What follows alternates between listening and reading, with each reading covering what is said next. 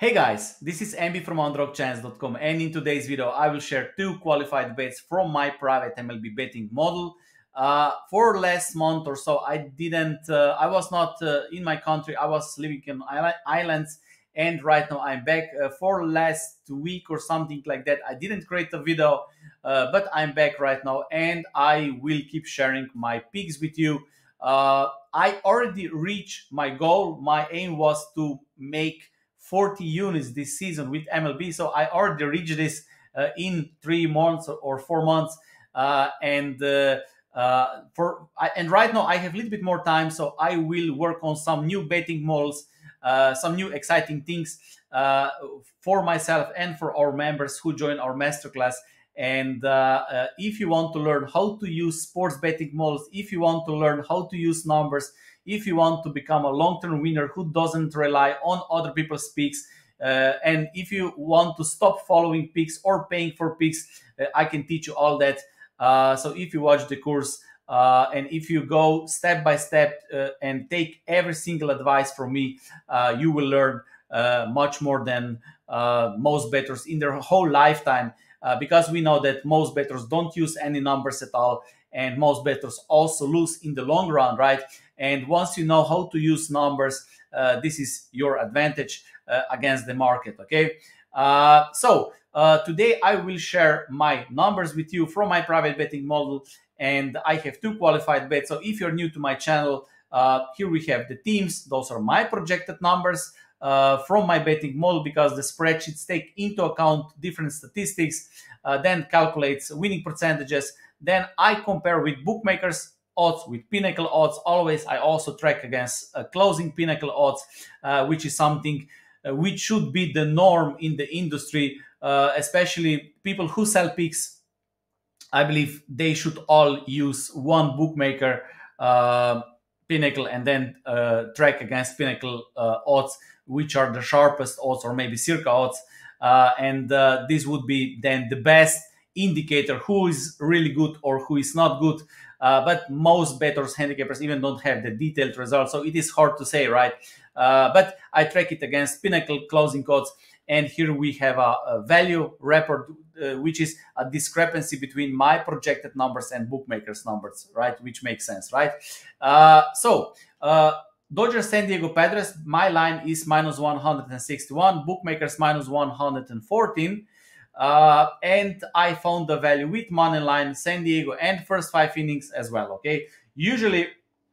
Uh, if I have huge underdogs, I took uh, plus run lines. Of course, this is not an underdog, but just I want to mention. Okay, uh, Miami, Cincinnati. Uh, based on my projections, there is maybe small value with Miami, but still not good enough because I am looking for much bigger number. Okay, uh, Minnesota, Detroit, no value, maybe small value with Minnesota, but as, as I said, very small.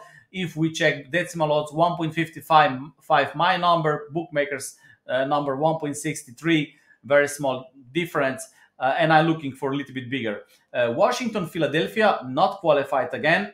Uh, I give, uh, I don't give better chance to Washington, but my betting model says that Philadelphia is probably uh, uh, overrated in this game because my line on Philadelphia is minus 151, bookmakers minus 204. So based on my projections, Philadelphia is overrated, but I still give them uh, more than 60% of chance to win this game, okay? Atlanta, Pittsburgh, no value. Chicago Cubs, no value, but maybe small value with Chicago Cubs. Mets are probably a little bit overrated in this game. Toronto, Cleveland, I skipped this game because uh, pitcher is not qualified. I was talking about this in my previous video. So if I don't have enough information about the pitcher, I simply skip this game, okay? Kansas City against Boston, no value, not enough value. Uh, maybe small value with Boston, but not good enough. Yankees, uh, White Sox, my numbers and bookmakers' numbers are too close.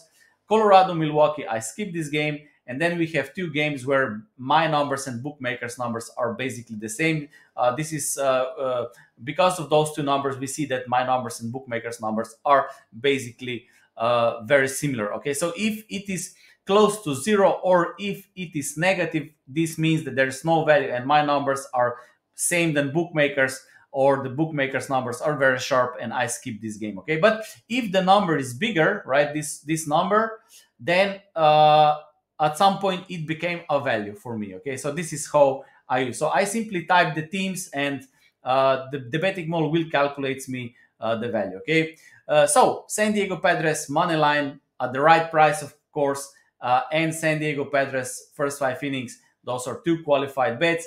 As I said, I already reached 40 units, but I will share uh, these picks with you. Uh, but again, if you want to stop follow me. If you want to become a long-term winner in sports betting uh, i have a betting course. Uh, you can start with free course or you can start with betting masterclass.